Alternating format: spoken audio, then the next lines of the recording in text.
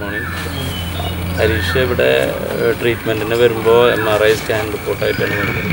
അപ്പോൾ അതിൽ ഉണ്ടായിരുന്നത് cervical spondylosis plus cervical disc complaint C two C three C four C four C five ഒപ്പം lumbar prolapse ഡിസ്കിന് ഒരു നീർക്കെട്ടും ഉണ്ടായിരുന്നു. ഇപ്പോൾ ഇവിടെ ട്രീറ്റ്മെന്റിന് വരുന്നതിന് മുമ്പുള്ള കാര്യങ്ങളൊന്ന് ഷെയർ ചെയ്യുന്നു എങ്ങനെയായിരുന്നു വേദനയുടെ തുടക്കം? അല്ലെങ്കിൽ എന്തായിരുന്നു ജോലി? എന്താ പേരൊന്ന് എന്റെ പേര് ഹരീഷ് എന്നാണ്.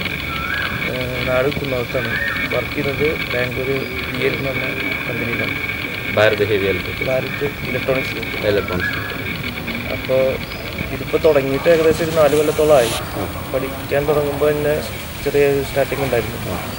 പിന്നെ അത് കൂടുതലായിട്ട് വന്നതിപ്പോൾ ഒരു രണ്ട് മാസം കൊണ്ടാണ് കയ്യിന് മുളിക്ക് മുന്നേ കഴുത്തിന് മാത്രം ഉണ്ടായിരുന്നുള്ളൂ നല്ല രീതിയിൽ കൂടുതൽ കമ്പ്യൂട്ടറിൽ ഇരിക്കുമ്പോഴാണ് കൂടുതൽ വന്നിരിക്കുന്നത് ഇപ്പോൾ ഇവിടെ വന്നതിന് ശേഷം ഇപ്പോൾ എന്താ വെച്ചിട്ടുണ്ടെങ്കിൽ കയ്യിന് മുകളിലത്തെ തരിപ്പ് കുറഞ്ഞിട്ടുണ്ട്. അത് ഇവിടുന്ന് കഴുത്ത് മുതൽ കൈ വരെ തരിപ്പും കഴപ്പും വലിച്ചിലൊക്കെ ആയിരുന്നു? കഴപ്പും വലിച്ചിലൊക്കെ തലവേദന ഉണ്ടായിരുന്നു? തലവേദന ചെറുതായിട്ടുണ്ടായിരുന്നു. ചില സമയത്തുണ്ടായിരുന്നു. പിന്നെ ചില സമയത്ത് നെഞ്ചിലും ചെറിയ വേദന ഉണ്ടായിരുന്നു ഈ ഡിസ്ക് ജാം ആകുമ്പോൾ പൊതുവെയുള്ള സംഭവം അങ്ങനെ തന്നെ. ചെസ്റ്റ് പെയിൻ ഉണ്ടാവും അതുപോലെ ഓർമ്മ കുറയും. അത് കയ്യിന് തരിപ്പുണ്ടാവും കൈ ഉയർത്താൻ പ്രയാസം ഉണ്ടാവും അതൊക്കെ. കൂടുതൽ കയ്യിന്റെ ഇവിടെയൊക്കെ ആയിരുന്നു ഇവിടെ ആയിരുന്നു കൂടുതൽ. ഈ മൗസൊക്കെ പിടിക്കുന്ന പിടിക്കുന്നതാണെന്ന് തോന്നുന്നു. ഈ ഐ ടി ഫീൽഡിലുള്ളവർക്ക് കൂടുതൽ ഇങ്ങനെ തന്നെയാണ് അല്ലേ? മൗസിന്റെ യൂസും ഒക്കെ ആയിട്ട് അല്ലേ? അപ്പോൾ ഞാൻ ഇവിടെ വന്നിട്ട് ഇപ്പോൾ ഒരു മൂന്ന് ദിവസം നാലാമത്തെ ദിവസമാണ്. അപ്പോൾ മൂന്ന് ദിവസത്തെ ട്രീറ്റ്മെന്റാണ് ഏഹ്, നാല് ബാക്കിയുണ്ട്. ഇത് ട്രീറ്റ്മെന്റ് ചെയ്തിട്ട് ഇപ്പോൾ എന്താ നിങ്ങൾക്ക് തോന്നണേ? മാറ്റങ്ങൾ എങ്ങനെയാണ് മാറ്റം ഒരു മാറുന്ന എത്ര ശതമാനം എന്ന് പറയാൻ പറ്റും എത്ര വേദനയുടെ അല്ലെങ്കിൽ ധരിപ്പിന്റെ അത് പറയണെങ്കിൽ ഇപ്പോൾ രണ്ട് ദിവസം കഴിയുമെന്നാണ് സാധാരണ ഇവിടെ നടക്കാറ് പഞ്ചകർമ്മ ചികിത്സയാണ്. ഇത്തരം അസുഖങ്ങളായിട്ട് വരുന്നവർക്ക് വമനം കൂടിയും കഴിയുന്നതോട് കൂടിയിട്ടാണ് ഇതിന്റെ ഒരു എയ്റ്റി പെർസെന്റേജ് കിട്ടുന്നത് ഇരുപത്തൊന്ന് ദിവസത്തെ ട്രീറ്റ്മെന്റ് ആണ്.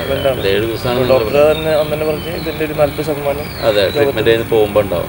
ഉണ്ടാവും. തീർച്ചയായും അപ്പോൾ ഈ ട്രീറ്റ്മെന്റിന്റെ ഭാഗമായിട്ട് പഞ്ചകർമ്മ ചികിത്സകളാണ് ചെയ്തുകൊണ്ടിരിക്കുന്നത്. ഒരു ഏഴ് ദിവസത്തെ ട്രീറ്റ്മെന്റ് അതിനുശേഷമുള്ള ഒരു ഏഴ് ദിവസം റെസ്റ്റ് അത് കഴിഞ്ഞാൽ സ്നേഹപാനം ആരംഭിക്കും. സ്നേഹപാനത്തിന് ശേഷം വമനം. ആ വമനം കൂടി കഴിയുന്നതോട് കൂടിയിട്ട് ഇതിന്റെ ഒരു എയ്റ്റി പെർസെന്റേജ് റിസൾട്ട് അവിടെ വന്നിരിക്കും. അതിനെ തുടർന്നിട്ടുള്ള റെസ്റ്റും ഫോളോ അപ്പും കൂടി കൊണ്ടുനടക്കുക ആ ഒരു ഫോളോ അപ്പ് ഏഴ് ദിവസത്തിന് ഇതിൽ വലിയ പ്രാധാന്യമുണ്ട് എന്തായാലും നിങ്ങൾ ട്രീറ്റ്മെന്റിനെ സഹകരിച്ചതിനും ഇവിടെ ഈ ഇത്തരം കേരളത്തിൽ വന്ന് ആയുർവേദ ചികിത്സകളും പഞ്ചകർമ്മ ചികിത്സ ചെയ്തതിന് വളരെ സന്തോഷമുണ്ട്. നന്ദി. Thank you